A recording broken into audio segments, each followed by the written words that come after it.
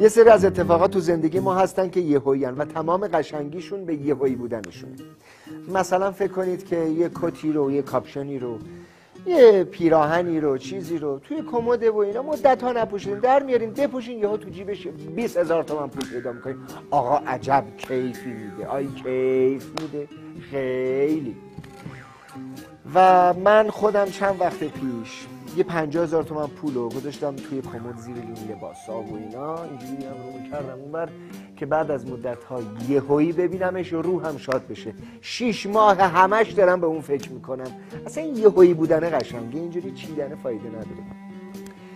مثلا دیدین یه اتفاقی براتون یهویی یه جایی میفته آقا از خنده می‌خوایم موزاییک کف زمین رو گاز بگیریم کیف می‌کنیم بعد همین ماجرا رو میان برای دوستتون تعریف می‌کنین. خودتون رو به در و دیوار می‌زنین. پنجاه هزار کالری در ثانیه مصرف می‌کنین. دوستتون لب از لب باز نمی‌کنه. هر کاری هم می‌کنه می‌بینیم فایده نداره. بعد جمله معروفی هست که میگین که نه خودت بعد اونجا میبودی می‌دیدی. یه خیلی بامزه بود. اینو ما اینو میگیم. بعد دوستتون در اون لحظه است که داره توی ذهنش فکر می‌کنه که شما چقدر بیمزه شادی و انرژی برنامه امشب رو تقدیم می‌کنیم به همه کسانی که در کل جهان به خصوص ایران دارن تلاش می‌کنن که دیگه کودکان کار کار نکنن. کودکی کنن درس بخونن شاد باشن. پس تیتراژ!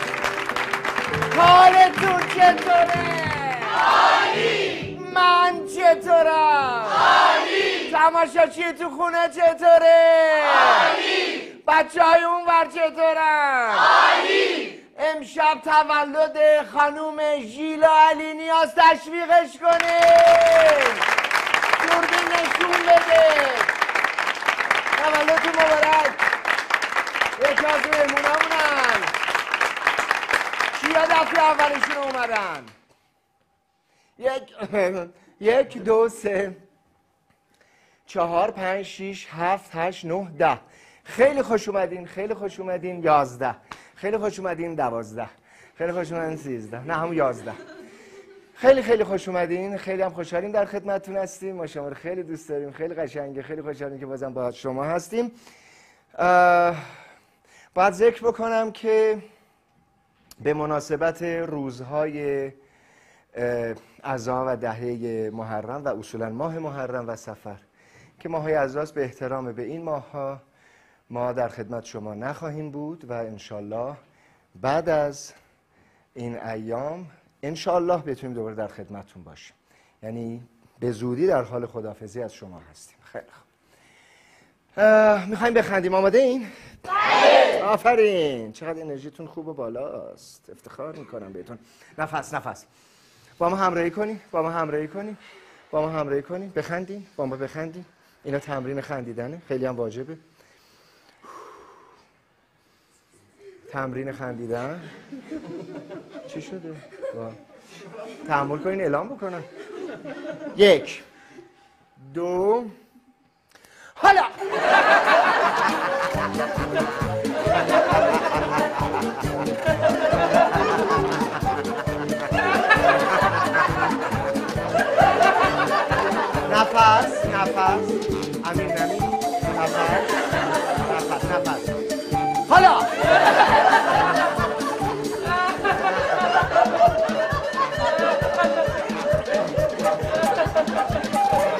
متشکرم متشکرم. تشریف کنید خواهیتون رو. کیا دیگرشون حال اومد کیا کیف کردن؟ کیا کیف به به به به. شما آها شما چی؟ دستا بالا هر چی کیف نکرده دستش بالا امشب قراره خیلی بهمون خوش بگذره. امشب می‌خوایم خیلی کیف بکنیم. مثل شبای دیگه امشب هم دیگه خیلی می‌خوایم کیف بکنیم. آقای جوان. جونم. خب دیگه بله نمی‌بینین منو که. چی بودی؟ بنده نامرئی شدم. یعنی الان تو اینجایی؟ بله پیرنه آبی چقدر بهتون اومده. قرمزه نه ولی آبیه چرا؟ سرمه ای البته.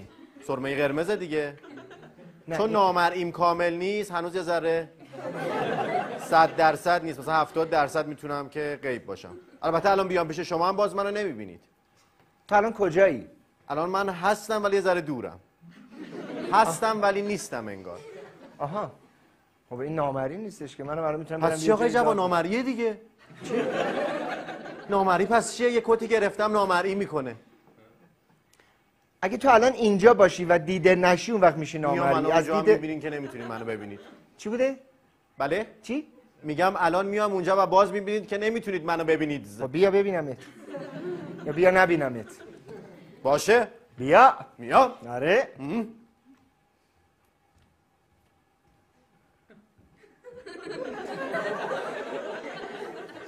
آقای جوان. بله.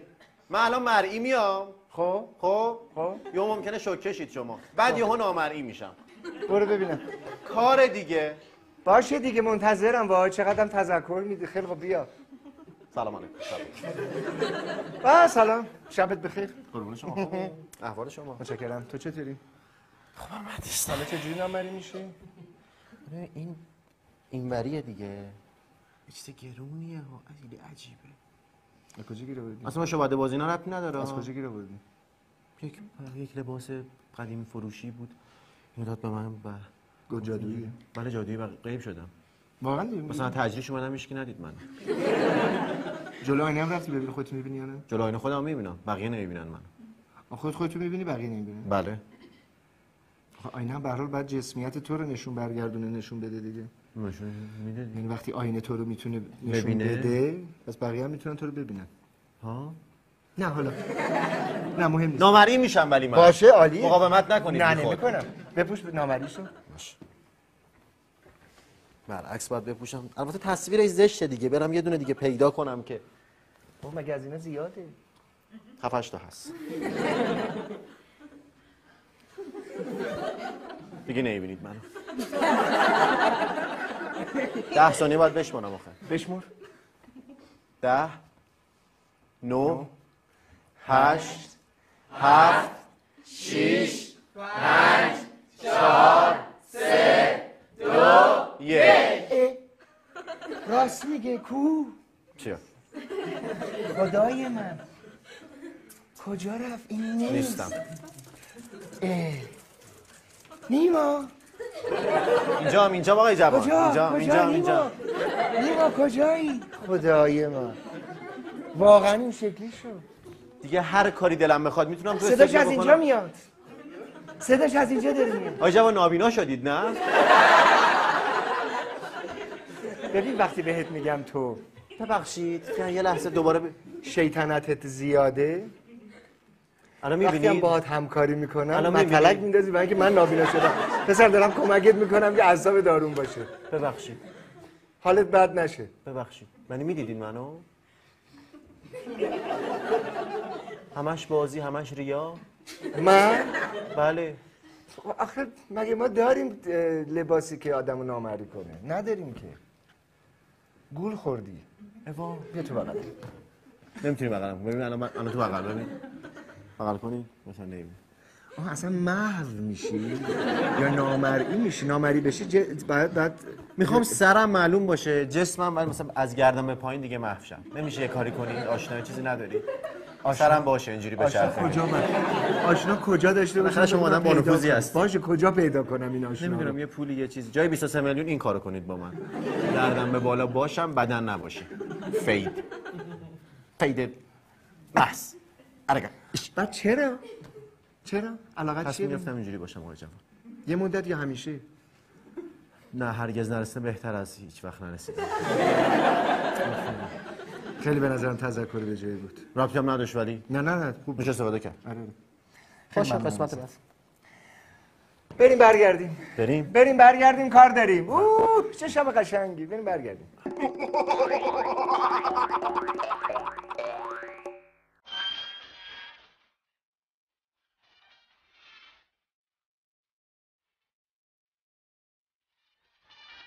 می‌خواد سوال کنه. من سوال می‌کنم. سوال کن. دارم سوال می‌کنم. از صبح تا حالا خندیدید؟ خندیدن همش میخندم.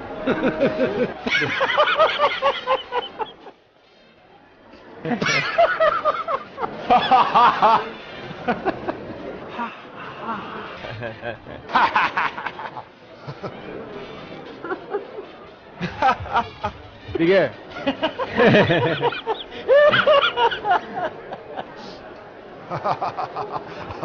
همه میخنده بله.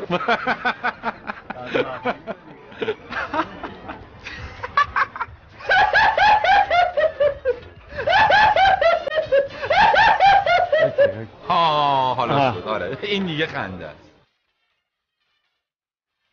همه کس بر بشر بوقلمونی خندد من به ریش فلک بوقلمون میخندم.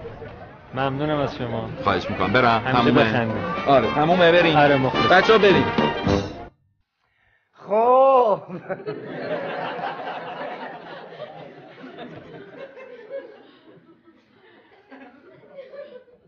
ادامه بدم. رفاقت بعض بعض بعد و عجب. سرخپوستی حرف می‌زنم زیرنویس میشه. ای بابا ای بشمونین علکی رفاقت با بعضی از آدما خیلی لذت بخشه و مثل عکسای سیاه و سفید ناب و قدیمیه. مثل بعضی از عطرها که یک عمر خاطره با خودش داره همونقدر ارزشمند و لذت بخش مهمون امشب ما یا بهتر بگم رفیق دیروز و امشب ما. و انشالله فردای هممون. یک هنرمند درجه که یک بازیگر بسیار بسیار خوبه. کسیه که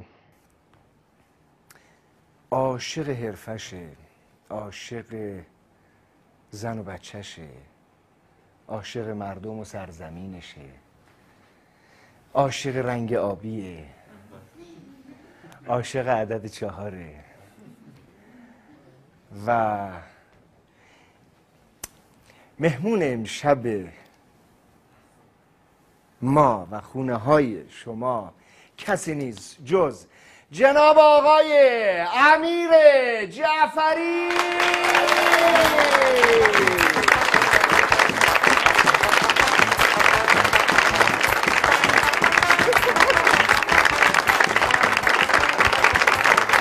اجازه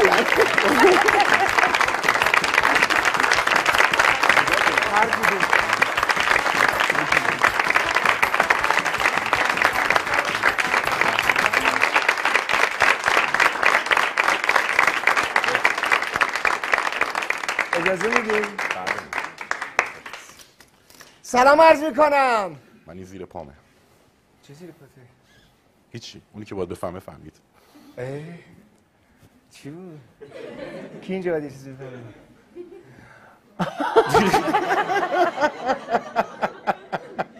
نشستی اینجا؟ نه دیگه اون دیگه بخواهش می‌کنم دوستشون الان آبی بود نه؟ نه رو آبی که نمیشینیم که آها آبی اینجاست آبی اینجاست. اوه بابا کیا طرفدار این موضوع که آقای جعفری میگه کیا برعکسن امیر تعداد مخالفات زیاده امیر سلام عرض می‌کنم. آها سلام علیکم کردین؟ نه. من سلام عرض می‌کنم. رفقای من می‌بینی؟ رفقا سلام. سلام. آه اینجوری سلام می‌کنن دوباره. سلام. خسته نباشید. بگو حالتون چطور حالتون چطوره؟ تماشاشی توی خونه منتظرتم سلام عرض می‌کنم. امیدوارم خوب بشین. مخلصی امیر جان خیلی ممنونم که اومدی. بعدم سر چشم من گذاشتی اومدی. مگه میشه برنامه‌ای که تو باشی آدم نیاد. خوش میگذره. مخلصی و واقعا خوش میگذره. قربونت برم. لطف داری. مرسی. با تو هم همینطوره. واقعا با من که. نه خیلی ولی چرا با من هر دفعه با تو معاشرت کردم در طول این یک عمر؟ چرا قول زیاد می‌زنم؟ خب آره خب راست. خورش سر صحنه اگه گوشتش کم باشه شروع می‌کنه که الان نکنه نقرس بگیریم. انقدر میگه من میگم امیر بسه امیر ول کن. امیر دیگه حالا گوشتش کمه دیگه. کنم؟ یه بعد گوشتای نمی‌خورم منم تو من بخور. نمی‌خورم من دیدی؟ نقره اسیدوری کم بالاست نمی‌خورم آره. هم گوشت ولی. باید باشه. ولی باید باشه. آره. حالا چطوره؟ خوب. همسر و پسر؟ همه خوب. رو به راه خدا رو خیلی سلام برسون همین اول می‌خوای چیزی بهشون بگی؟ دوستتون. دارم. ببخش من حرف زدم. دوستتون دارم. به به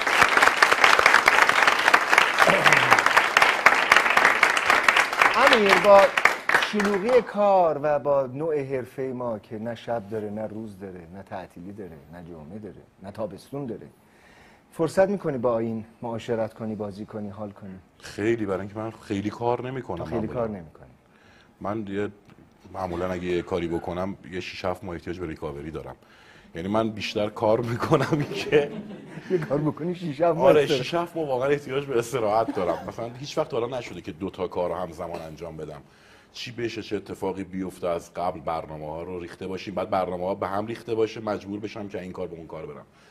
به خاطر همین ترجیح میدم که بیشتر با بچه‌م باشم. چه جوری اینو مدیریت می‌کنی؟ یعنی به راحتی میگی کار ب... کارهای بعدی رو قبول نمی‌کنی. کارتمو نگاه می‌کنم پولم تموم شد میرم سر کار. خیلی جدی نمی‌گیرم زندگی رو. نه واقعیت همینه. یعنی که دوست دارم بزرگ شدن بچه‌مو ببینم. آفرین. آفرین. این خیلی جمله درستیه. تشویق داره این جمله.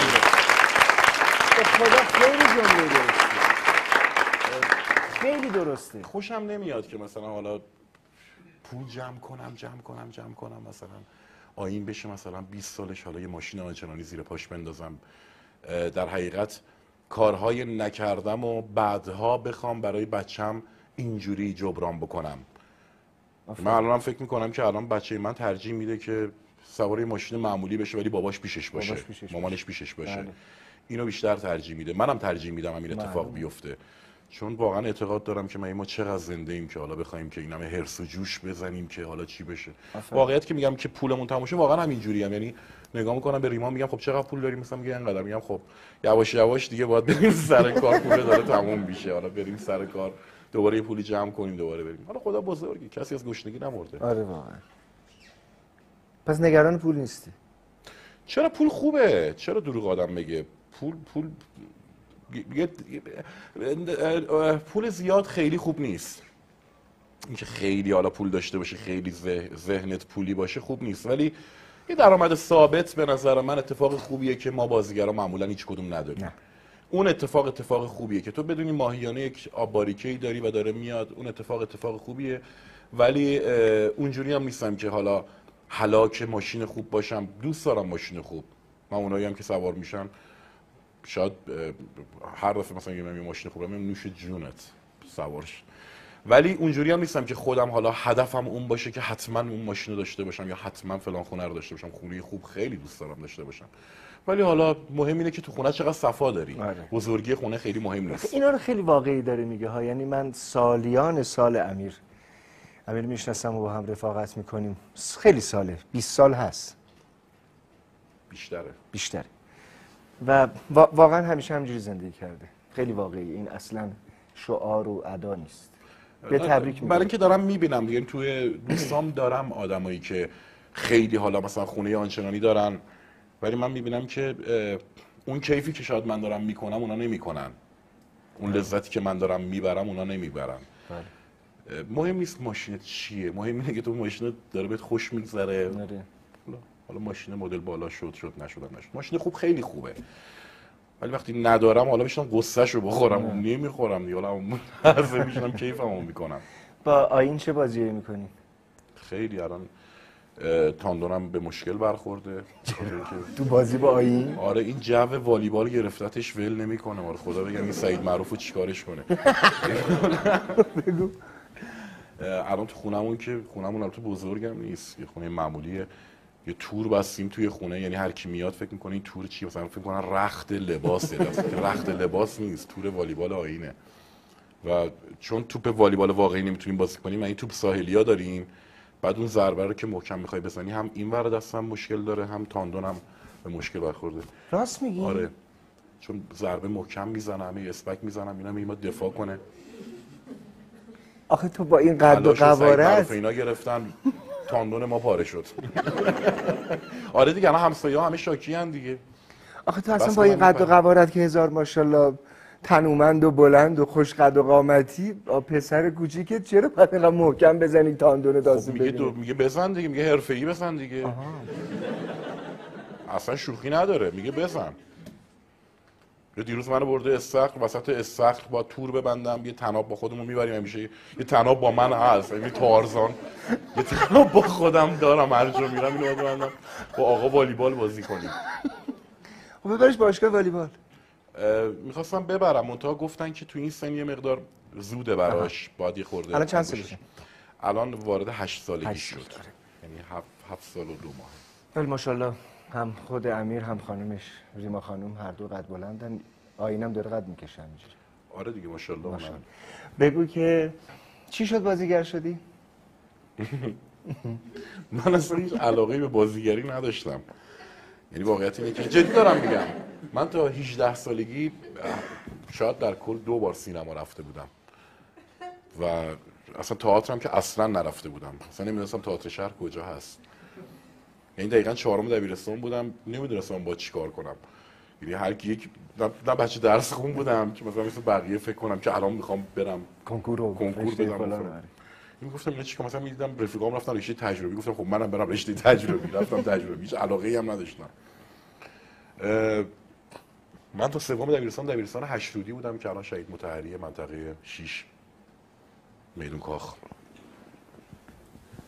خونتون کجا بود؟ میدون گلها. بعد اونجا اخراج شدم جات خالی سوم دبیرستان. قربان تو دوستان به جمع. چی- شد چرا؟ خب من خیلی بچه شهری بودم. من الان آروم شدم. بعد اینم چیز بود یعنی تا راهنمایی خیلی بچه شلوغی نبودم. تا راهنمایی خیلی هم مظلوم بودم همه تو سرم. می‌زدن. آره خیلی خیلی. چرا؟ خب بچه مظلومی بودم دیگه. یعنی خیلی چیز نبودم سرزبوندار نبودم و همش هی تو خودم بودم. مثلا دوره دبستان و اینا که هر کی رد می‌شد تو سرم من می‌زد. ولی اه، راهنمایی هم یه خورده یه خورده اومدم بالا و اینا. آخه اون موقع اینجوری هم نبود که ماشاءالله معلما دست بزن داشتن آره. و حساب میبردیم دیگه. دبیرستان یوهو منفجر شدم. نمی‌دونم چی شد. شکوفا شدی. دینامیتی در معده من یوهو ترکی. اصلا یوهو نمی‌دونم چرا انقدر وحشی شدم یوهو. یعنی زمانی می‌شد که معلمه گریه می‌کرد از دست من. واقعا اشک میریختم. می‌گفتم تو رو خدا بس دیگه. نمی‌تونستم بشینم یه جا. سوم دبیرستان من اخراج شدم. رفتم. البته اینو بدآموزی نداره دیگه. نه. بابا. بعد رفتم دبیرستان آیت الله سعیدی که هم دقیقا چسبیده پارک لاله است.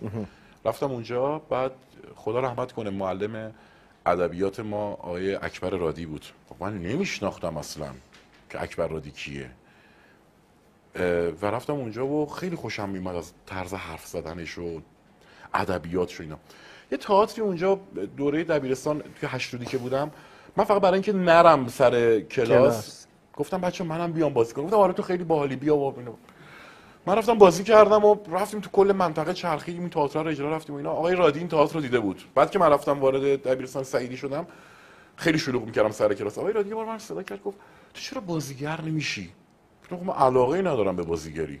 گفت خیلی خوبه استعدادت خیلی خوبه اینا. من خورده به فکر فرو رفتم گفتم نکنه بازیگرشم اتفاق خوبی برام بیفته. رفتم گفتم خب کجا و تو هنوز نمی‌دونستی که آقای رادی کیه؟ اصلا من نمی‌دونستم اکبر رادی کیه. آره. خدا رحمتشون کنه. خدا رحمت کن روشون شد بعد من رفتم تئاتر شهر و نمی‌دونستم تئاتر شهر کجاست. از بلوار کشاورز تا چهارراه ولیعصر پیاده پنج دقیقه راهه. آره. من بلد نبودم تئاتر شهر کجا همین سالانه سالانه رفتم آقا بخش تئاتر شهر کجاست آقا همینه دیگه. کجا اینا دیگه این گردی است گفتم اه. رفتم اونجا گفتم سلام من می‌خوام بازیگر شم. به حراست دم در.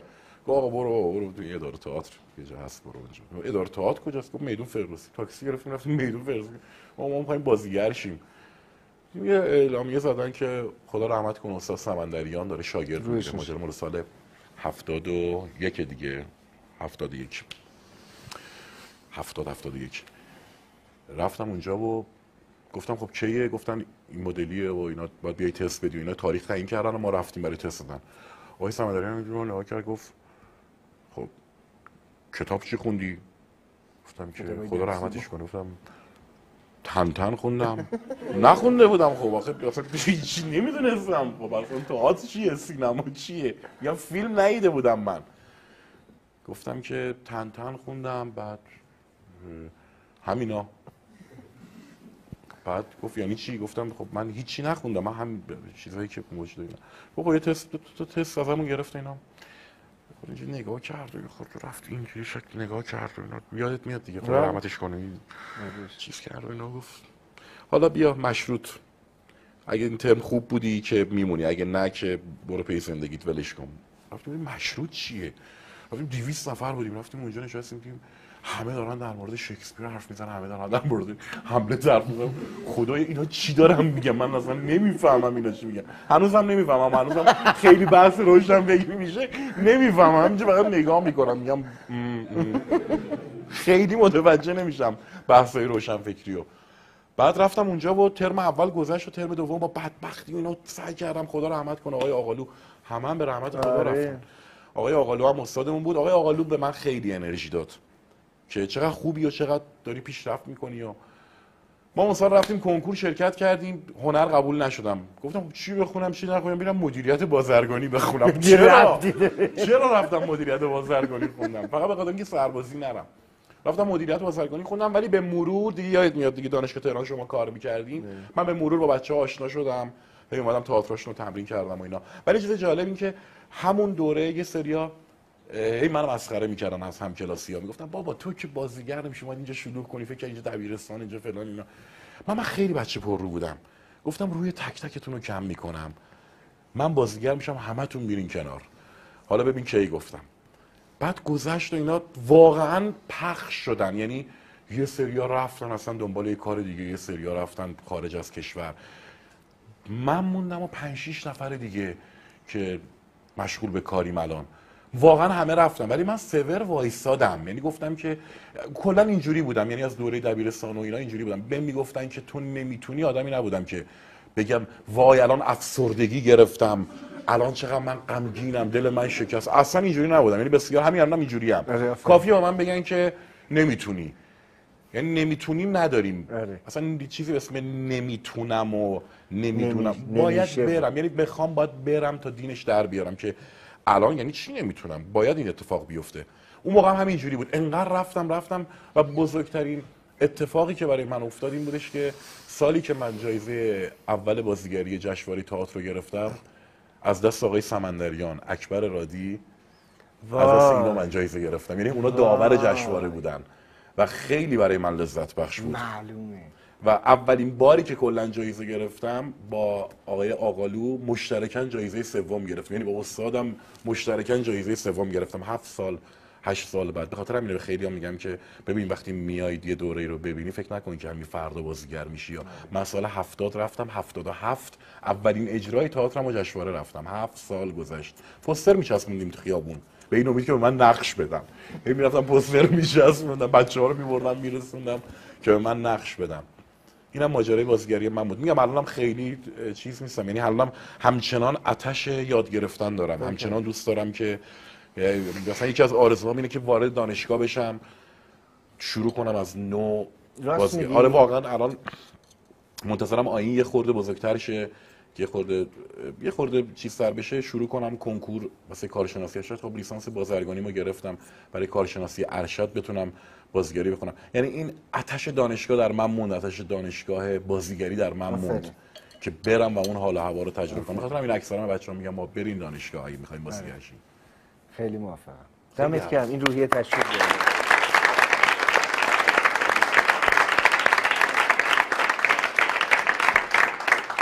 اینوری حرف بزنیم بچه‌ها زشته. جانم. این چیه؟ آها. تو خیلی هم بازیگر خوبی هستی. واقعا داری خیلی. نه؟ خیلی تو بازیگر خوبی هستی. من خوشم میاد آدم تعریف می‌کنه. آره بابا تو خیلی بازیگر خوبی هستی. اصلا درجه یکی. چه تو تئاتر چه تو سینما چه تو تلویزیون اصلا بازیگری هستی که لحظه من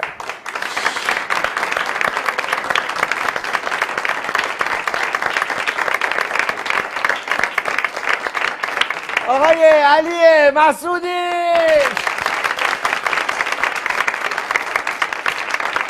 من جملم راجع به امیر نیمه کاره مونده. بعد موقعی اومد یه بارم که از ما یکی اومد تعریف کنه همون موقع اومدی تو. آقا من میرم یه بار دیگه میرم. ببخشید. باشه. اینجا. با- باشه. تا همینجا. امیر تو انقدر بازی من افتخاری داشتم که با تو هم همبازی باشم هم پشت دوربین باشم تو جلو دوربین ولی هیچ با هم رو در رو خیلی بازی نکردیم جز. اون سینمای مکس. مکس. آره خیلی هم با هم کیف کردیم. خیلی خوش. آره خیلی. ولی اینو می‌خوام بهت بگم. تو بازیگری هستی که به شدت می‌تونی که کارگردانت رو و هم هم گروهیات و هم بازیگریات رو غافلگیر بکنی. نه به معنی بدا یعنی آدم یهو بگه واه ماشاءالله. دمت گرم. میشه من هر روز بیام اینجا از من تعریف کنم آره. یه بگیرم. من هنوز عین بچه‌ای چیز میمونم. یه دیدی بچه رو تشویق می‌کنی میگی دمت گرم. معلومه هم هنوز من اینجوری مثلا یک؟ تعریف می‌کنم ازم خوشم میاد. چرا که نه؟ واقعا بله، جدی بله. داری میگی؟ آره. دمت گرم باری کلا آقای علی مسعودی! اجازه است. بفرمایید. پاک نشه یه چیزی سلام. سلام. حالتون؟ عالی. خب خدا رو شکر. من اومدم واسهتون استن آب کمدی اجرا کنم. بالاخره تونست بگه ولی از اون نوشته. ببینید. فارسی نوشتی؟ ببینید بچه واقعا آقای جعفری شما استن آب کمدی اجرا کردین یا نه؟ خیلی سخته. خیلی. من این استن آب کمدی که جلسه پیش اجرا یه بارم کردم. کرده این کارا یه بار دفعه قبل اینقدر از سختیاش داره. انگار سوال هاست این سوالاست داره. آره. مشقت خیلی این استن آب کمدی انرژی می‌بره. آره. من یک دقیقه دیگه اجرا می‌کردم از تشنگی خفه می‌شدم. برای همین آب واسه. همین آب آوردم واسه خودم. ببخشید. خب آقای جوان بگی من چه استن آب کمیسیون شما نتونستم حفظش کنم. آخر تقلب کردم. اب نداره امیر تو این دسته هست. شیشه سکوریت شیشه سکوریت شیشه سکوریت ببینید خب ما هم بچه مشهد هستیم و خونه پدر مادریم سی, سی, سی, سی و پنج سال پیش مثل فرشته و الهیه زمان ناصرالدین شاه بود. یعنی ما حاشیه مشهد میشستیم الان محلمون شده عین فرشته و الهیه. یعنی الان سی سال پیش مثل مثلا همین فرشته و اقدسیه زمان ناصرالدین شاه بود. ما محلمون کلا خب اون زمان نه اینترنت بود نه وایبر بود نه نمی‌دونم. اطلاعات عمومی ما بچه های محلمون خیلی کم بود. یعنی اولا که هیچ کدوم مقاله چیز علمی نمیخوندیم. کل محلمون یک بچه دانشمند داشتیم به اسم احمد. ما هرچی اطلاعات می‌خواستیم به دست بیاریم از احمد میپرسیدیم. یعنی احمد می آورد حالا احمد از کجا گیر می آورد یه داداشی داشت توی تهران. داداش بزرگش. هر از چنگای موقع مثلا هر ده روزی داداشش زنگ می‌زد مثلا یه سری اطلاعات از داداشش می‌گیره فردا میومد تو مدرسه تعریف میگم آقا مثلا همچی چیزی هست. کی گفته؟ حمید گفته. اصلا میگم حمید گفته دیگه تمام می‌شد. اه حمید برادر گفته. احمد، آره. آره برادر بزرگ احمد. سال 65 اینا بود که ام، بمبارون می‌شد تهران و موشک بارون می‌شد اینا. یه روز احمد اومد و گفت بچه ها گفتم چیه؟ گفت آقا یه شیشه هایی توی تهران اختراع شده به خاطر مقابله کردن با این بمبارون به اسم, شیشه اسکوریت. ببخشید شیشه شیشه شیشه شیشه اسکورتی. گفتیم شیشه اسکورتی چیه؟ گفت بابا اسکورت یعنی محافظ. این شیشه اسکورتی هم یعنی همین یعنی محافظ خونه های مردم. کی گفته؟ حمید گفته. آقا حمید گفته تمام دیگه اصلا. حمید رو حرف حمید کسی حرف نمی‌زد. آقا ما 20 روز تو راه مدرسه دیگه شروع می‌کردیم. آقا یه شیشهایی تو تهران ساخته شده به اسم شیشه اسکورتی. آقا هواپیما بهش حمله می‌کنن می‌خورن بهش برمیگردن. اینقدر. ما هر دو سه هفته ای بچه های محلمون حمله می‌کردیم سمت باغای ترقبه. واسه این میوه خوردن و اینا. ساعت پنج و نیم صبح مثلا 20 روز بعد از جریانی که هر روز بحثمون شیشه اسکورتی بود و شیشه اسکورتی بود و اینا ساعت پنج قرار گذاشتیم سر سه راه کوکا محلمون که بریم این هفته طرقبه.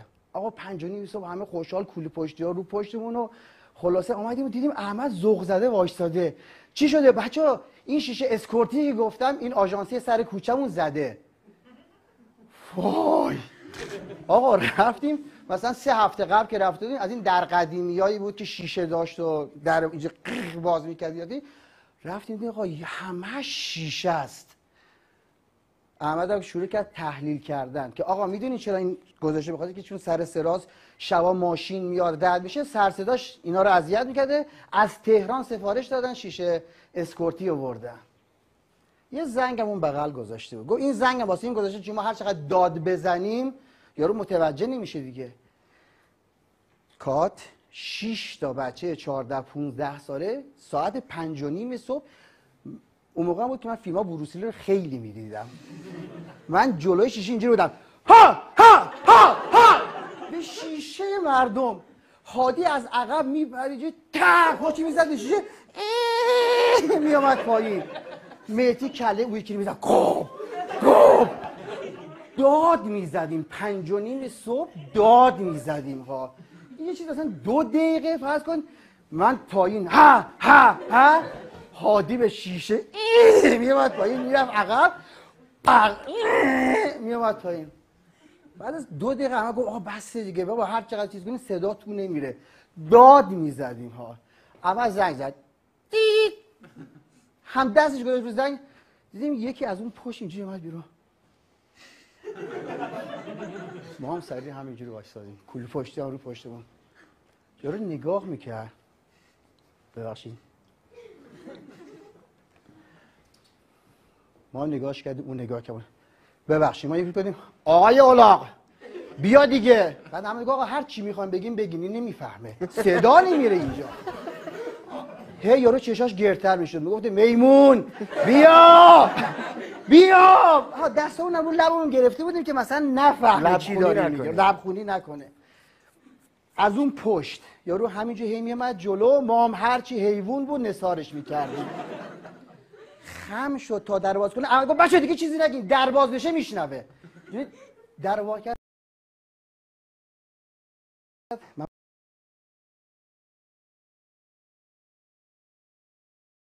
بوسی بریم توره. یارو هیچی نگفت. رفت سمت ماشین. ما هم بچه محلمون یه عشق داشتیم اونم صندلی جلوی ماشین. آقا این اونو بزن این اونو بزن که زودتر بریم صندلی جلوی ماشین.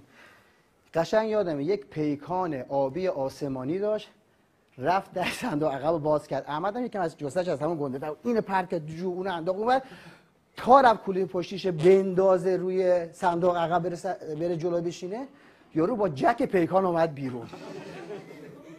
از سرا کوکا تا پیچ ترقبه با جک دنبالمون.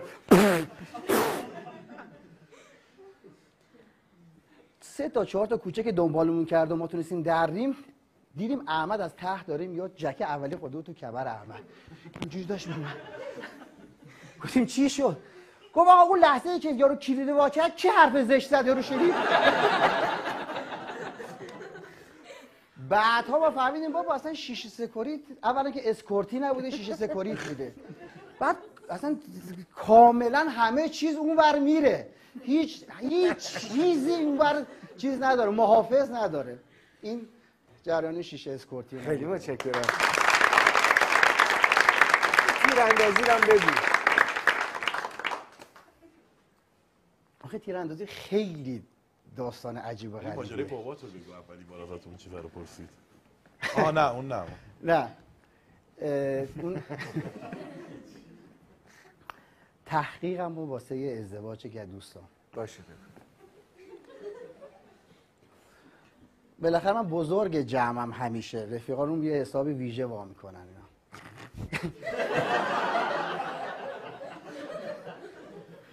یه روزی که بچه اومد خونه و نشست و موضوع حالا مثلا ده دوازده. علیه خورده نه؟ یه. اما به شدت تو نریخته. مال من موهای شیری مدر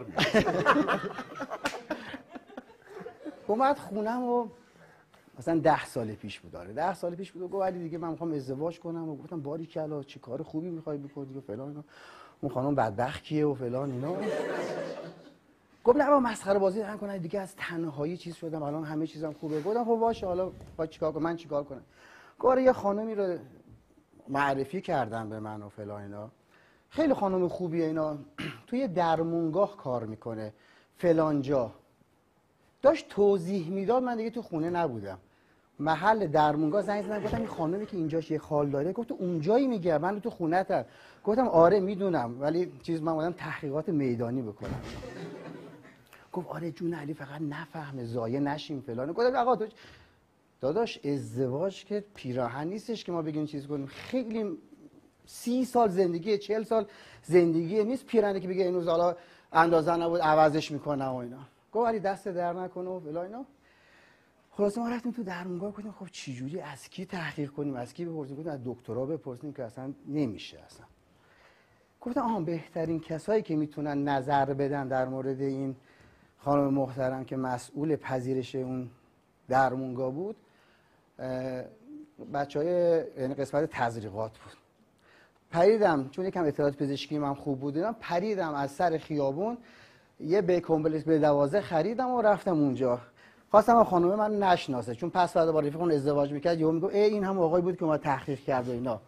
خیلی به صورت ناشناس اینجوری رفتم و گفتم خانم یه آمپول داشتن گفت پنیسیلین گفتم نخه یه B complex ب دوازده است. گفت بفرمایید تو اتاق اونوری. گفتم چشم. گفتم بذار همکارش میاد توی حین عمل تزریق در مورد این خانم من تحقیقاتم رو می‌کنم. میشه که رفت روی این بفهم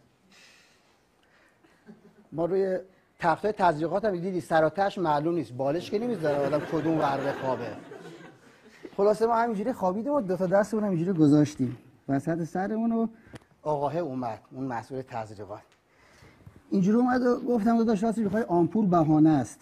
ما اصلا هیچ چیزی نیستش و بلا اینا من راستش می‌خوای در مورد نمیشنویم صدا تو گفتم آقا راستش می‌خوای این آمپول بهانه است. راستش می‌خوای واسه امر خیلی اومدم و فلان. آقا زد آمپولو. دیگه شروع کردم گفتم آقا شما فرض کن بس برادرت منم فرض می‌کنم این خانم مثل خواهرم یک رب همینجور حرف می‌زدم. یا یکی اومد گفت آقا نمی‌خوای شما بلند شی؟ یا بلند شدم یکی گفتم این آقا چی شد؟ گفت خیلی وقت آمپول چیز زده رفته.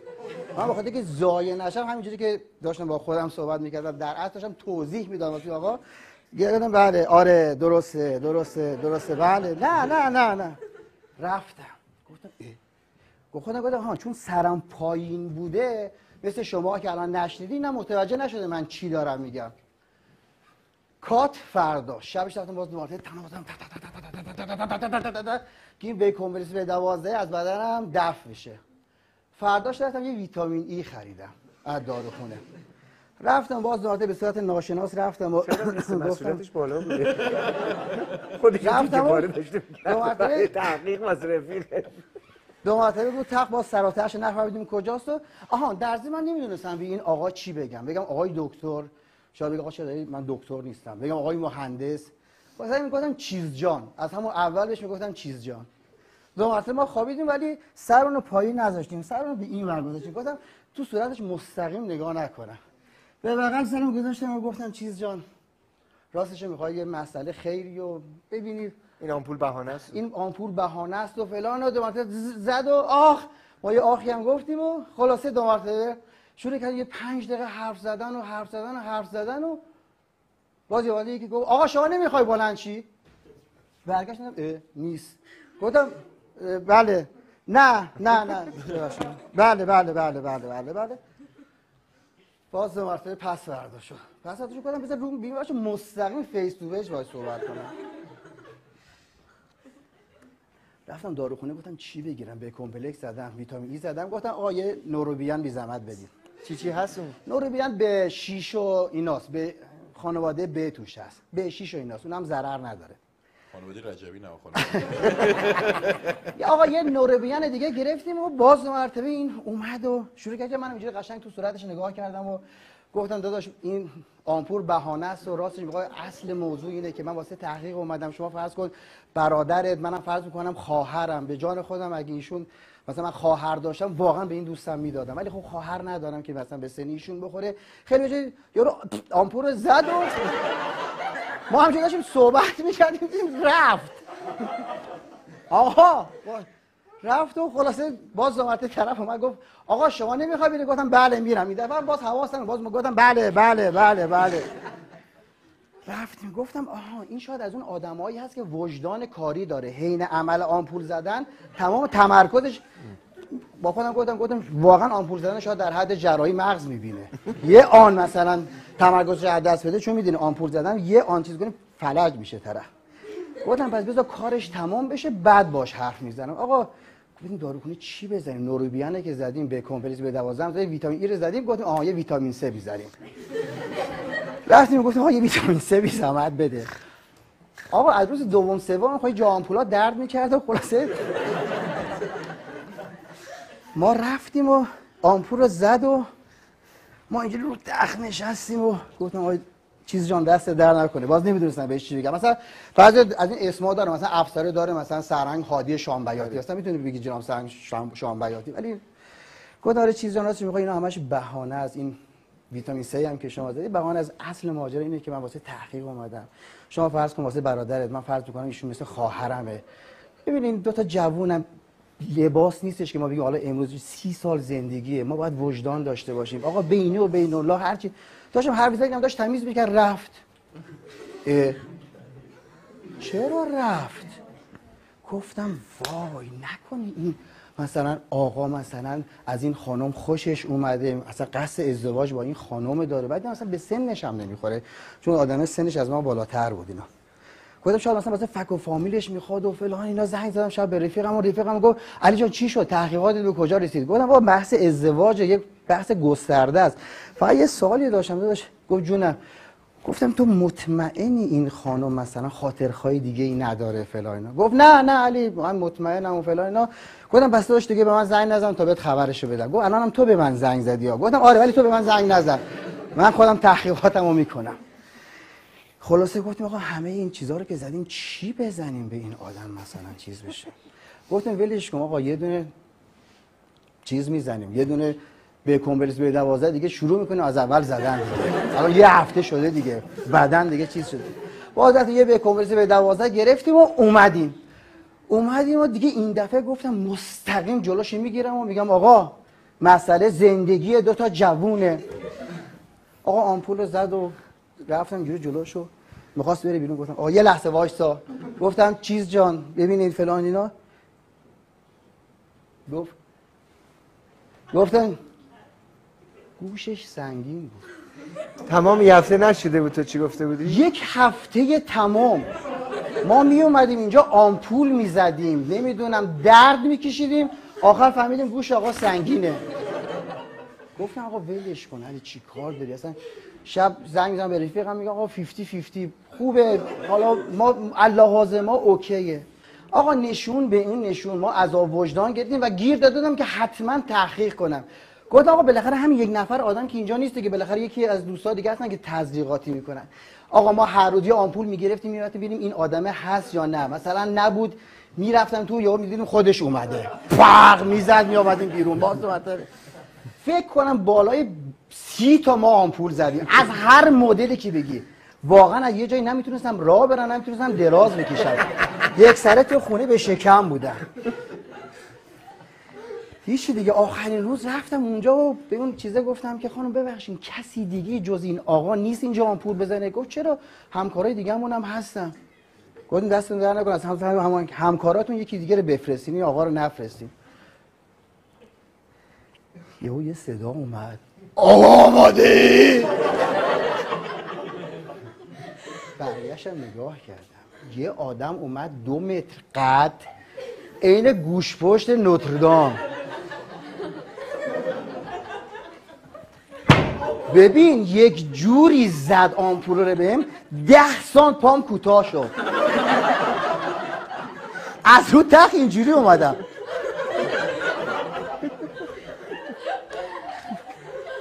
گفتم آقا ولش کن. زنگ میزن به رفیقم میگم آقا خوبه. بگیر بگیر. شب دمر رو تخت زنگ زدم به رفیقم. الو داداش شاکرم خوبی؟ گفت سلام علی جان خوبی؟ چه خبر؟ راستی داشت ما هفته پیش عقد کردیم. یه مراسم خودمونی بودش. دیگه دعوتت نکردیم. گفتم تو هفته پیش عقد کردی بعد به من نگفتی. گفت نه دیگه یک خانوادگی بود دیگه. چه چه نسبتی با ما داری که دعوتت کنیم؟ چرا ما تو رو دعوت کنیم؟ گفتم مرد حسابی من پام پنج سان به خاطر تو کوتاه شده. یک هفته من با واکر را می‌رفتم بعد از یه هفته تونستم بشینم. خیلی ممنونی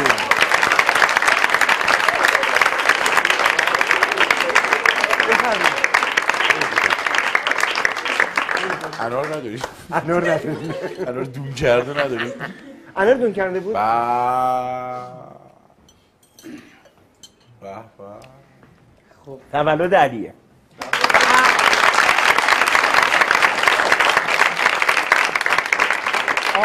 جعفری چرا زحمت کشیدی؟ یه سوالت هم شده نه؟ بچه من تنها کسی هستم که خودم از کودک درونم کوچیکتره. می‌کنید من کیم؟ و کودک درونم چی می‌کشه؟ از دست من. می‌خوام بهتون هدیه. بدم. خب بیا بده دیگه به من. مبارک بشه. تولد مبارک. علی. اه،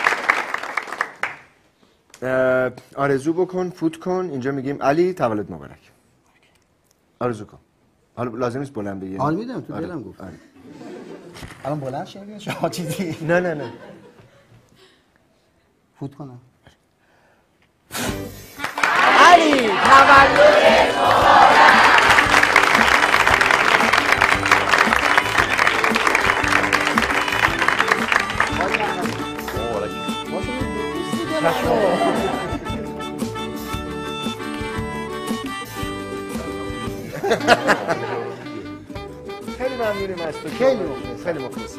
بچه ها ببخشید دیگه مزاحمتون شدم و وقت برو دیگه. خیلی خب بابا دیگه. واقعا استن کمدی خیلی سخته. استن آب کمدی. بچه خدا خدا امیر جان. امیر جان. ببر امیر جان راجع به تو یه گفتگویی شده که اگه اجازه بدی ببینیم بعد گپ خودمون ادامه بدیم. بفرمایید.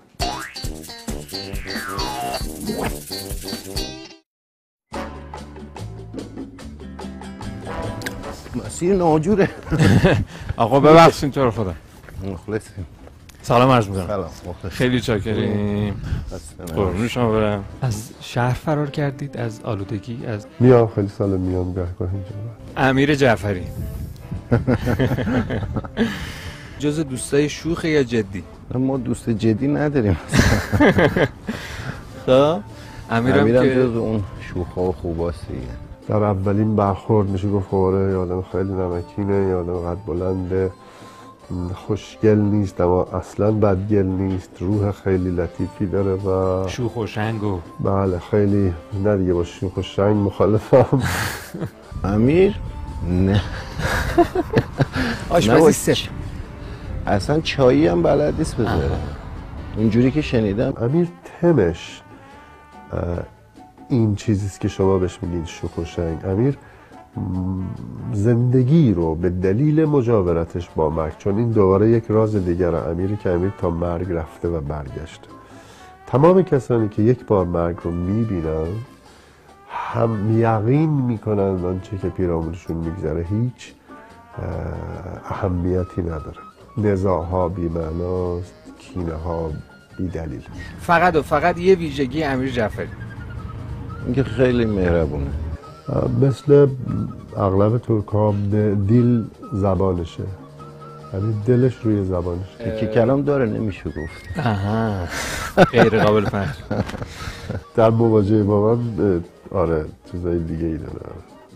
آقا جون داره. خیلی جذابه به شما میگه آقا جون. هم بهش میگم آقا جون داره. هر دو آقا جونی. آره هم بهش میگم امیر ما. آها. بعدیش اینه که مثلا بعضی وقتایی که یهو درگیریم مثلا مشکلی دارم کاری دارم بهش زنگ می‌زنم جواب نمیده. آها. تلفنش جواب نمیده. اینقدر با فاصله جواب میده که اون مشکل یا حل شده یا مثلا یه بلایی سرم سرم اومده. ای تایید شاه باشی زنگ بزنید اصلا امیدوار نیست تموم کاره زود گول می‌خوره. عصبانیش و دیگه ویرانگر ها آره دیگه حالش خیلی بد میشه واقعا؟ عصبانی میشه نه اونجوری ولی خب همه همین جوری هن. همه وقتی عصبانی میشن در اون شکل خودشون در میان بیرون یه چیز دیگه میشن امیرم مثل بقیه است دیگه فرقی. امیر هیچ هنری نداره جز هنر خوب زندگی کردن و این هنر کمی نیست امیر به نظر من در هر جمع در هر جمعی گل سرسبد اگه نباشه شمع میون مجلس دوستانشه و توانایی تو تشکیل هیچ اداره ای رو نداره اما هر اداره ای با حضور امیر می‌تونه قوام بگیره. فکر کنم واقعا. فکر کنید آقا فکر کنید. قابل پخش چی داره؟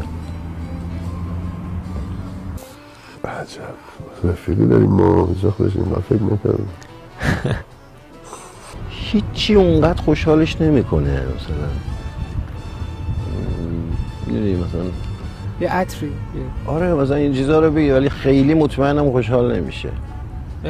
آره همیشه یه عیبی می‌ذاره رو چیزی که گرفتی براش. مخصوصا من بگیرم همش یه منتی هم سرم می‌ذاره. آها این چیه گرفت این چیه گرفتی؟ و دست تو جیبت می‌کردی یه چیزی می‌کردی.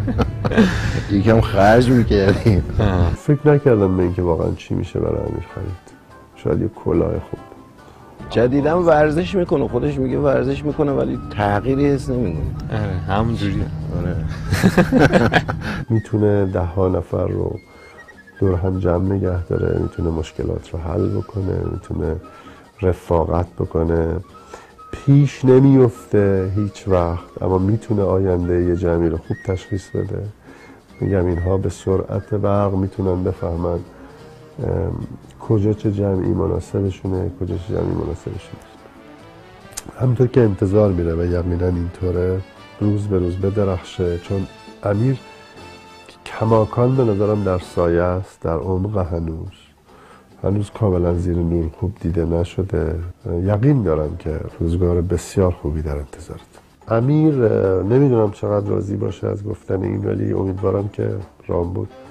ازش بخواد که حتما دعایی که مادرش در حقش کرده رو بذاره و تماشاگران شما بشنون. به نظرم یکی از شاهکارهای گفتگوی یک مادر با فرزندش از پشت تلفن است. امید واقعا دوست دارم. قربون شما. مخلصیم. خیلی لطفی. قربون شما. ببخشید آقا مزاحم شدم. بفرمایید سر کار. ببخشید. قربون شما. قربون شما. آقا خداحافظ. خداحافظ. خداحافظ. خداحافظ. مخلص. میریم واقعا از این طرف؟ آره میریم. اوه اوه منتظر منی می‌گفتی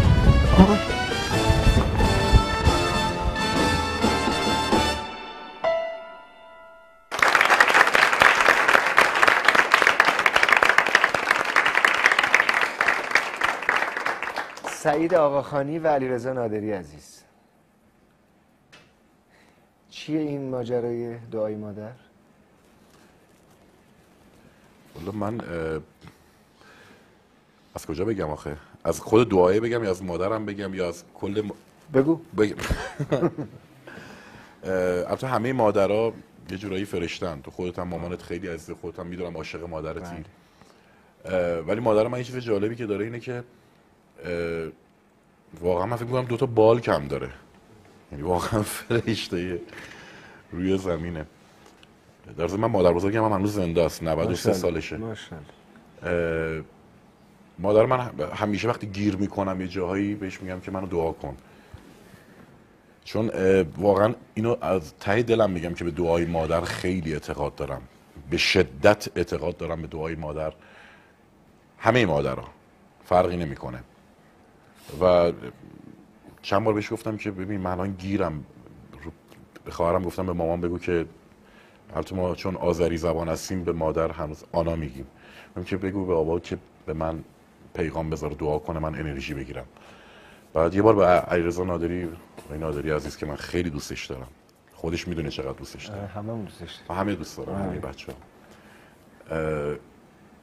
یه بار دعا رو گذاشتم. این احتمالا تو ذهن آقای نادری مونده که بر ما می‌ذاری؟ آذریه. البته خب ما 40 میلیون آذری داریم اشکال نداریم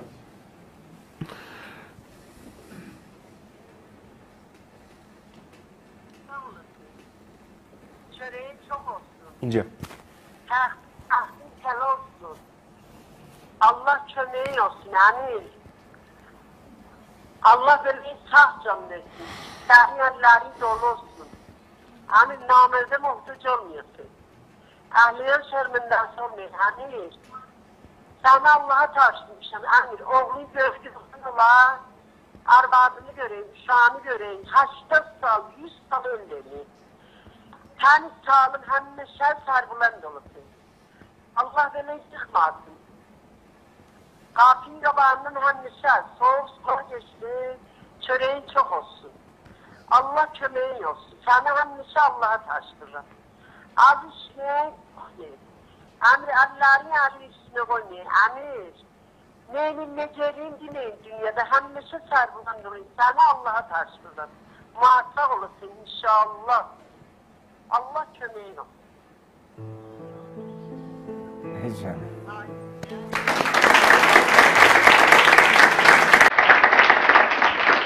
هر دفعه میشنوی بغض می‌کنی؟ ای جون خدا هر دوتون و همتون برای هم دیگه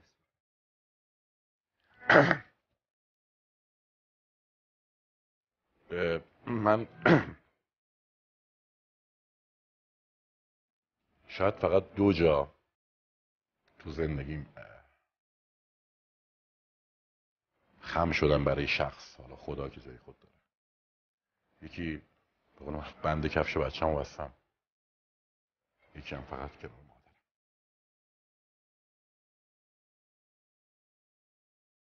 هر دوست داری چی بگی بهش؟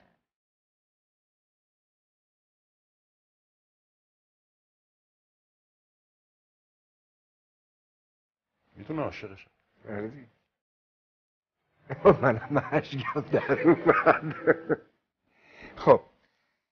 چقدر قشنگ. چقدر خوب. اینو گفتیم ولی اونا که مادر ندارن هم خیلی دردناکه. من یعنی اونایی که دارن که باید قدرش رو بدونن اونایی هم که ندارن. انشالله خدا رحمتشون کنه. ولی یه سری هستن که از بچگی وقتی ندارن خیلی دردناکتره. من علی مسئولی که داشت اینجا برنامه رو اجرا می‌کرد و داشتیم همه میخندیدیم. البته دوست نداشتم اینو بگم. اصرار کردم بهش که بگم. دوستم نداشت من بگم ولی من دوست دارم که بگم.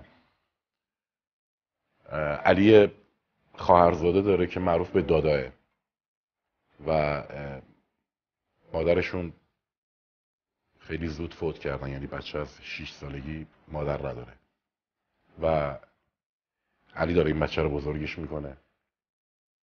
یعنی حتی ازدواج نکرده که این بچه به سر و سامون برسه. اینو گفتم که بگم که هنوز آدم های شریف هستن توی اینجا. و به برکت نفس این هاست که داره اتفاقات خوب شاد داره میفته و خواستم اینجا حالا کسایی که دارن تصویر من رو می‌بینن و می‌دونن که نفسشون حق و سیمشون وصله برای خوشبختی این بچه دعا کنن و واقعا هم همینه. دم علی گرم که دل این خواهرزاده رو که رفیق همه ماست رو انقدر خوب شاد نگر میداره. واقعا. آره. واقعا همینطوره. خیلی هم کار علی برای من واقعا خیلی کار بزرگ علی برای من و امثال علی برای من واقعا حالا قهرمان های ورزشیمون جای خود. حالا باعث افتخارم. من کیف می‌کنم خودم. که نام ایران رو سربلند می‌کنن همه جا. تو این شرایط بدی که وجود داره در دنیا بر علیه ایران. اونا جای خود ولی واقعا قهرمان های واقعی اینا هن. شعار نمیدم. مثلا نه. نه اهل شعارم نه آره. بلدم شعار بدم. ولی واقعا برای من اینا قهرمانن. که یک نفر بیاد و آدم شاید خیلی جاها برای بچه خودش حوصلش نکشه یک سری کارا رو بکنه. میگه وای خستم این که تو یه مرد حالا نمی‌دونم راضی سنشو بگم یا نه. بلند شی براش صبونه بذاری اینو راهی هر مدرسه. بکنی. هر روز هم براش پدر باشی هم براش مادر باشی. ببریش باشگاه تا کجا بیاریش. حالا یه موقعی ماشین داری یه موقعی ماشین نداری. براش نهار درست می‌کنه شام درست می‌کنه همومش می‌کنه همومش می‌کنه می‌بره بیرون همه واقعا علی دمت گرم. دمت گرم. تشویقش می‌کنم. آره. امیر اه، چی باعث میشه دلت بگیره؟ هیچی. چرا باید بگیره برکلا. تن سالم. آره ماشاءالله. بگیره اصلا نمی‌فهمم. یه موقعی آدما میگن که وای جمعه است غروب دلم گرفت و اینا. مثلا نمی‌فهمم یعنی چی. چی آدم دلش می‌گیره؟ هزار تا کار نکرده وجود داره. هزار تا به جمعه بعد از ظهر چه ربطی چه, داره؟ چه ربطی به جمعه بعد از. ظهر داره؟ مثلا وای دو روز تعطیل بریم شمال. خب کجا بریم؟ باش. هزار هزار تا کار دیگه می‌دونی انجام بدی. چرا باید دلت بگیره؟ من معمولا دلم نمی‌گیره. عصبانی میشم خشمگین میشم از یک سری چیزها ولی اینکه دلم بگیره نه. چه از چی عصبانی میشی؟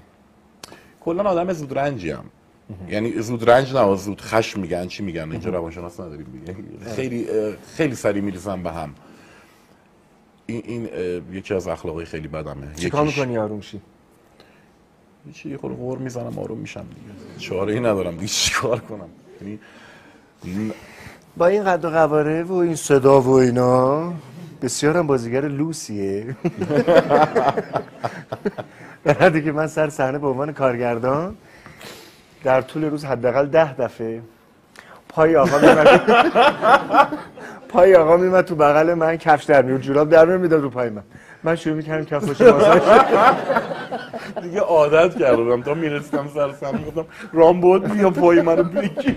بعد دیگه عادی هم شده بود. اون پاشو میذاشت با موبایلش حرف می‌زد اینا منم مثلا با فیلم بردار حرف می‌زدم. بالا میگم با اینم ازش آره. کارامونم میگردیم آخه نقاط پا رو قشنگ می‌دونست رامبود یه جا هم آموزش دیده بود. یکی از دوستاش یه کارهای بلد بود. خیلی خوب می‌تونست آروم کنه منو. منم که عاشق ماساژ اصلا ولو می‌شدم. یعنی گربه می‌گفتم.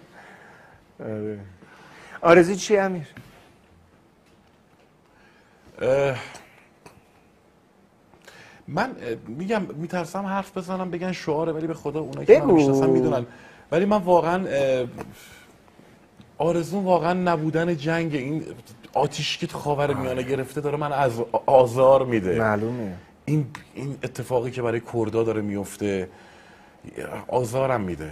یعنی من فکر کنم هر جایی که کرد هست ایرانی فرقی نمی‌کنه. بالاخره ریشمون برمیگرده به ایرانی بودن. این خیلی اذیتم می‌کنه. یعنی موقعی میام بالا سر بچه‌م می‌بینم آروم خوابیده. راحت خواب ناز واسه خودش. سکوت فلان. بعد یهو میای عکس رو می‌بینی. بچه اصلا حال آدم بد میشه. وحشتناک آره یک روزه بدون جنگ چه, چه اتفاقی میفته آره واقعا کاش. یعنی واقعا یکی از آرزوهام اینه که این اتفاق نیفته حالا آرزوهای دیگه هم وجود داره که خب حالا خیلی زیاده. مثلا یکی از کارهایی که تو کردی توی برنامه دیدم من خیلی دوست داشتم. واقعا آرزوم اینه که اینکه جمع کردی یه سریا رو که آقا آشغالا رو جمع کنیم که. این خیلی اتفاق بزرگیه. یعنی من فکر می‌کنم که ما هممون یک مسئولیت داریم وقتی به این دنیا اومدیم. خداوند ما رو آفرید. یک چیزی از ما خواست. همینجوری بی هدف نبود آفرینش ما. من بلد نیستم من نه فلسفه بلدم نه معارف بلدم من در حد خودم فکر می‌کنم که یک یک مأموریتی ما داریم در این بله. دنیا که یک کاری انجام بدیم اینکه تو بتونی همین یه آشغال ورداری یعنی واقعا یکی از آرزوام اینه که مثلا طرف می‌بینی با ماشین میلیاری داره رد میشه بعد به راحتی آشغال رو پرت می‌کنه بیرون آره. این خیلی بده یه چراغ قرمز یارو تق رد میشه میگه پولشو میدم آبا مصرف می‌کنم اون چیزی که در مورد آب داشتی آره. صحبت می‌کردی من خیلی دوست داشتم من الان واقعا مثلا گلایه دارم از آموزش پرورش میگم آقا فقط این نباشه که بچه یاد بدیم که بابا آب داد مامان نان داد. آخه یعنی چی؟ خب اینو یاد می‌گیره. حالا دوم نه سوم چهارم. زندگی فرق می‌کنه. یعنی اصول زندگی و انسانیت و اینکه تو بدونی که بابا اسراف چیز بدیه. حالا وضعیت خوبم باشه اسراف بده. بله. چرا فکر می‌کنی که حتما باید چون وضعیت خوبه مثلا آب- پولشو میدی. پولشو میدم به راحتی؟ اصلا پول کجا؟ نیست. آره. حداقلش دوست دارم که به بچم یاد بدم که ببین این آشغال تو پارک نندازیم زمین ورش داریم. هر کی هم انداخت کنار رودخونه این ما ورش داریم این کارو بکنیم. یک سری چیزها اصول هر جای دنیا که می‌خوای زندگی کنی فرقی نمی‌کنه. این اصول رو رعایت کنیم. بله. دقیقا درست. اه، کار خونه بلدی بکنی؟ اصلا. چرا دروغ بگم؟ چقدر هم وقیحانه گفت اصلا. اصلا. نه وقیحان نگفتم. چرا وقیحانه بود؟ واقعا بلد نیستم. یه بار داشتم تو خونه اومدم خیر سارم بزنم خانم- کمک کنم که یه خب، کاری. بکنم ظرف بشورم. زدم دو تا استکان شکوندم.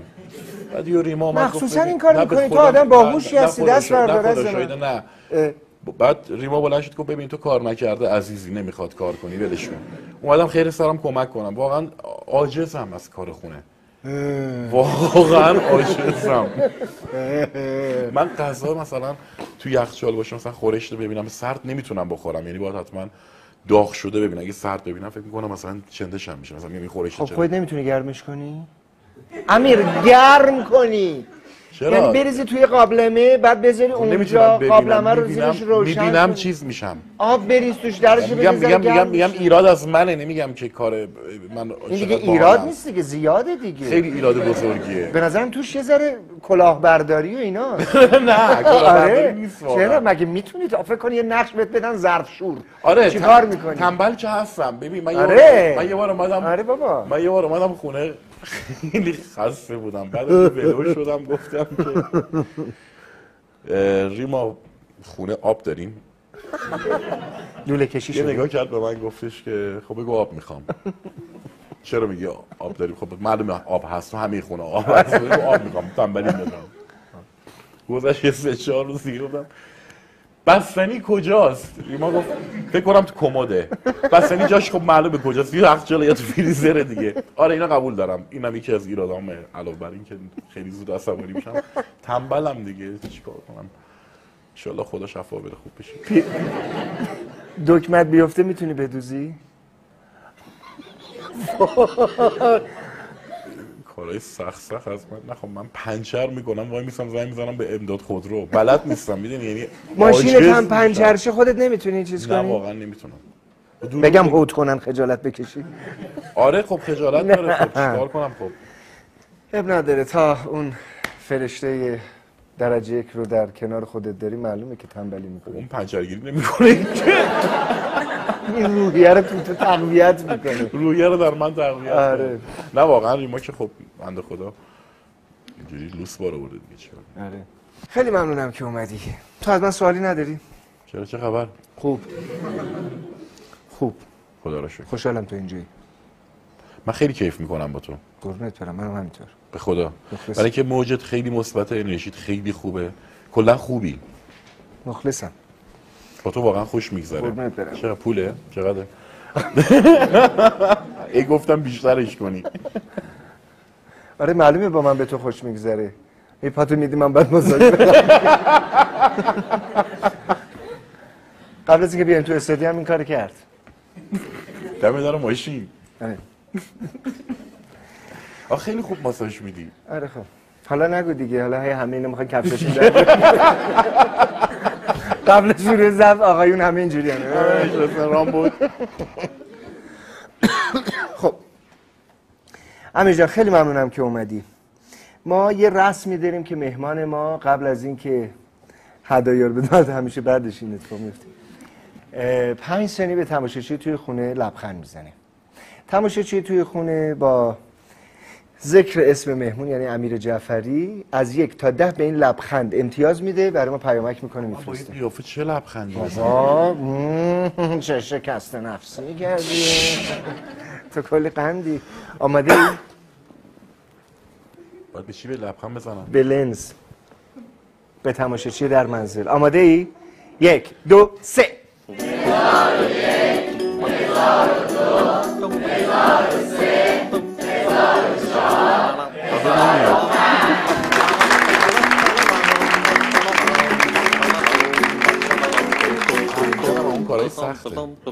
خوشگل خندیدن.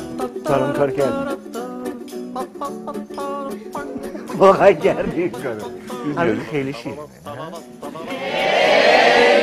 هزار ماشاءالله یادی دنبال کار می‌رفتیم تبلیغات تو ماشین. ماشین بغلی ما یه دوره تصمیم گرفتیم کار تبلیغات بکنیم. یه بار با همدیگه تو ماشین امیر بودیم داشتیم میومدیم کار به اینجا کشید. همیشه که صحبتش می‌کردیم کار بکنیم. تو ماشین بغلی هم می‌پرسیم. کار تبلیغات نداریم شما؟ کار نبود. تو ترافیک داشتیم کاریابی می‌کردیم. اون موقع من همه میگم ای آقای جعفری آقای جوان سلام علیکم کار چی تبلیغات نقول به خوبی یا ما شوخی می‌کنه ولی ما خیلی جدی می‌گفتیم. آره ما خیلی جدی. کار تبلیغات کار تبلیغات لازم. نداریم کار تبلیغات براتون بکنیم. ترافیک بود گفتیم استفاده کنیم از زمانمون ما این لوح رو به تقدیم می‌کنیم و این لوح برای ما خیلی ارزش داره. لطفا یه جایی بذار که ببینیش. برای منم ارزشمند مخلصم. چون واقعا از صمیم قلب این داره بهت اهدا میشه.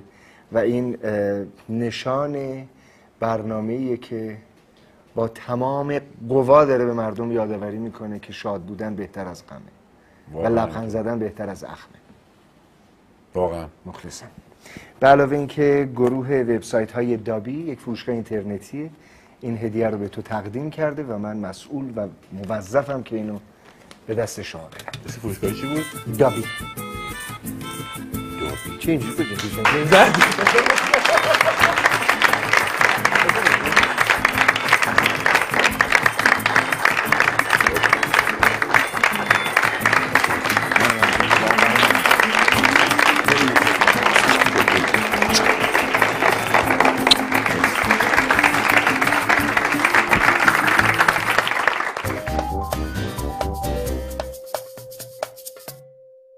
دست راست بالا. یک دو سه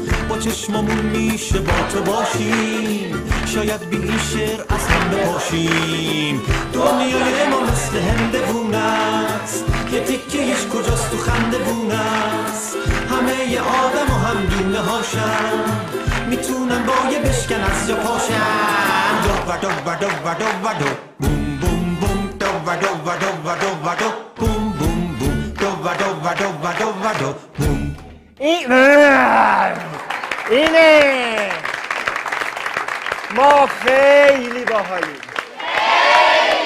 ما خیلی باحالیم. خدا رو شکر. حالتون چطوره؟ عالی جانم. مثلا نمی‌بینی منو دیگه چیز نکن آها. خب دیگه نیما هم که نیست و من اصلا نیستم من نمی‌بینم. صداتی که میشنوید آره. خب می‌خوایم خدا دانیال بیا! چی شده؟ تا نمی‌بینم اون بهترین فرصته بیا. بریم برو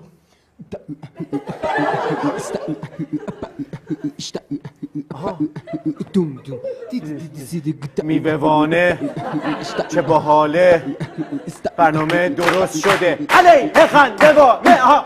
میوهوانه چه باحاله برنامه درست شده علیه خندوانه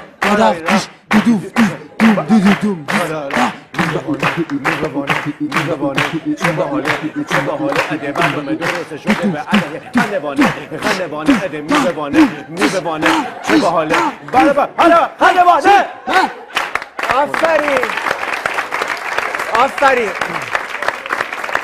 یعنی واقعا با اینکه نامرئیان و دیده نمیشن خیلی جالب این آواز رو اجرا کردن.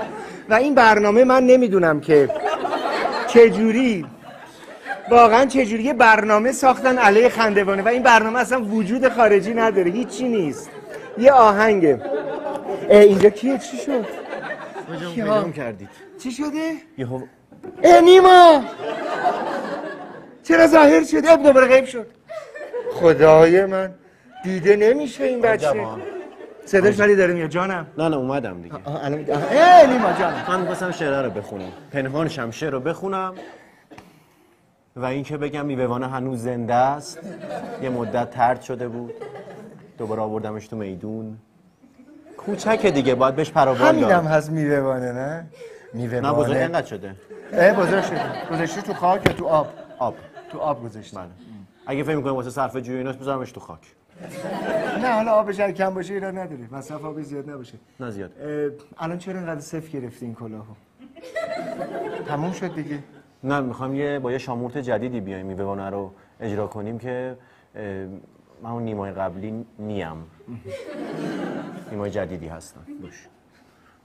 جدیده دیگه برنامه. آره. بگو دلم برای تنگ شده. تو رو خدا. وقتی نمی‌بینم دلم تنگ میشه. صاحبم. ما با هم دیگه دوست شدیم. اندکی مرا پول بده ای بابا. سو استفاده چی؟ اندکی به من پول بده. من به تو پول نمیدم. یه قوتی بگیرم. فردا روز این برنامه داره تموم میشه. من خودم یه گوشه کنار یک برنامه مستقل بسازم. شما هر موقع اونو ساختی بساز من اصلا به اون کاری ندارم. مگه اینجا- دوستت نیستم؟ چرا؟ اینجا کمکت دوست- می‌کنم. کمک چی؟ کمک معنوی نمی‌خوام من. فقط مالی. فقط مالی. فقط پولو می‌بینم من. قشنگ نیست اینجوری اینقدر محکم اینو گفتن. ببخشید. خب. میوهوانه. چه باحاله برنامه درست شده. علی کیا میوهوانه رو دوست دارن؟ اصلا همینجوره. یه لانشات نشون بدین ببینیم چقدر چقدر. چاپلوس دوستان. آفرین. هیچ اتفاقی نمیفته کیا- برنامه است واقعا. کیا خندوانه رو دوست دارن؟ اینه. نه میوهوانه منطقش اخم کردنه. ولی خندوانه نیستن ولی خندوانه منطقش لبخند زدن. قطعا لبخند زدن. نه، ارجح نه اخم کردن. نه اخم کردم نه لب چرا تو اینجوری می‌کنی؟ میگه حالا پنج ثانیه با هم اخم نه می‌کنی نکردم. فقط شعر خوندم. ولی خب اینو داشتی کنارش دیگه. بله چشاتم اونجوری واسه من گرد نکن. ببخشید. دست راست بالا. حالا اگه می‌خواین دم دست چپ هم بالا. خدا حفظتون بکنه دوستتون داریم. خدا نگهدارتون. لبخند فراموش نشه. خیلی قشنگی. یک دو سه. شاد باشید!